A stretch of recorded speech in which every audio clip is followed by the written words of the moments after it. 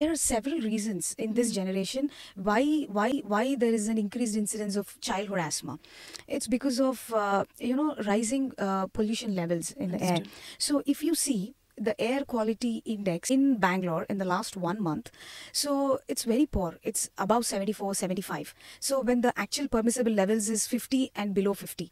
So this itself is telling that the very air that we breathe is polluted and not only that uh, children are now interested in you know staying indoors you know sticking to screens watching tvs or playing video games not having enough uh, physical activity outside and also now it's become a norm to have sand parks everywhere Correct. in our apartments Correct. in uh, preschools Correct. in schools and, and even in malls everywhere so these sand parks uh, or these sand uh, Bits, uh, yeah. yeah particles their pore size is very very small it's actually less than 5 microns uh, it is not the same uh, same sand particle pore size when we were small and when we were playing with the sand.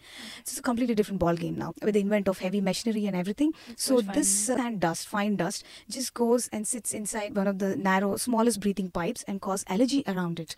So sand parks are a problem. And also even your fabric based play areas again in malls we have a lot of fabric based play areas. We even uh, get that to our parties now birthday parties and everywhere. So we they are brooding with allergens. We need to stop that